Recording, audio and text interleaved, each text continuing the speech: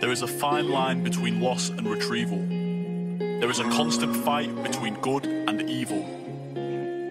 This is the story of a kid we kept as a prisoner, and now he's about to light a fire. Speak your journey, for we are the listeners. They're all chasing that scene so bad. Would you give up your soul for that? I made my call already. It's time to make yours. How far can you get from the spotlight? You're making everyone. Grow in silence and hold my blame. I made my call already. It's time to make yours. How far can you get from the spotlight?